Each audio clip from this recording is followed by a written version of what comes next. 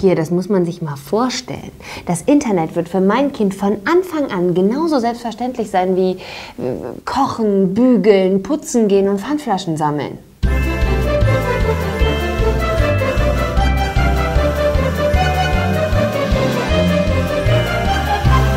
Etwas untergegangen ist in den letzten Tagen ja ein Vorschlag von Wonder Woman. Ursula von der Leyen. Sie schlägt einen Verhaltenskodex fürs Internet vor. So eine Art virtuelle Supernanny. Wenn man ehrlich ist, ist das gar keine so schlechte Idee. Oft geht es in Foren und Blogs ja zu wie, wie bei der Freien Union.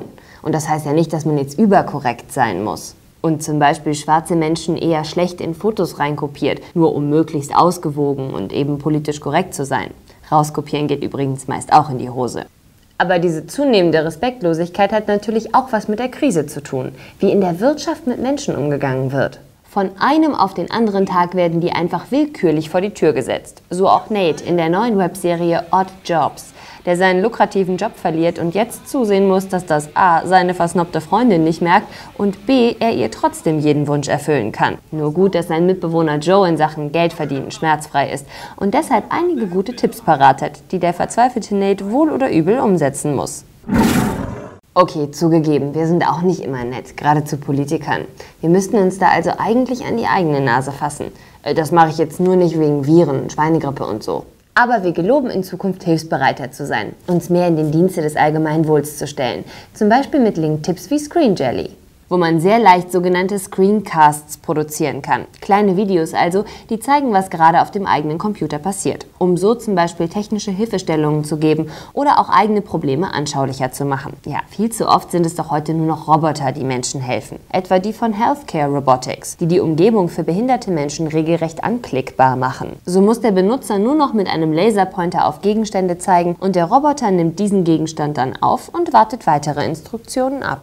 Ja, so selbstlos wie diese Roboter sind allenfalls noch die Macher von The League of Movable Type. Eine Website, die kostenlos Schriftarten zum Download bereitstellt. Fünf gibt es bisher und jeder ist aufgerufen, eigene Schriften beizusteuern, wobei man auch den schönsten Font aus Sicherheitsgründen manchmal verschlüsseln sollte. Zum Beispiel bei Cripple. Einfach Text eingeben, mit einem Passwort versehen und verschlüsseln. Dafür muss man natürlich Cripple selbst vertrauen. Oder man versucht es mit Vanish. Immerhin ein Projekt der Universität von Washington. Mit Vanish kann man entweder online oder mit der kostenlosen Beta-Software Texte für zum Beispiel E-Mails verschlüsseln, die der wiederum nur bei Vanish lesen kann und die sich zudem nach einigen Stunden selbst zerstören. Gerade betrunken sollte man eigentlich nichts anderes mehr benutzen. So, und weil ich heute nett bin, gibt es noch völlig ohne Zusammenhang und roten Faden zwei schöne Animationen zu sehen. Und die erste hat übrigens auch keinen roten Faden. Es ist das, was der Macher einen kleinen Software-Test nennt, bei dem er echte Videoaufnahmen mit selbstgemachten Animationen kombiniert. Und das mehr als beeindruckend. Da fragt man sich, wie es aussieht, wenn er richtig loslegt. Im Animationsfilm Acro dagegen sieht alles noch etwas handgemachter aus. Acro ist die Abkürzung für das französische Wort accrocher und bedeutet so viel wie abhängig oder süchtig. Und genau das sind die Männchen in diesem kleinen Film. Süchtig danach, immer und immer wieder dasselbe zu machen, auch wenn es sie erkennbar keinen Schritt weiterbringt. So, und ihr könnt uns ja heute mal mit Screen Jelly zeigen, wie das bei euch aussieht, wenn ihr Ehrensenf guckt. Und was zum Beispiel das da ist. Das war Ehrensenf, ich bin Janine und tschüss.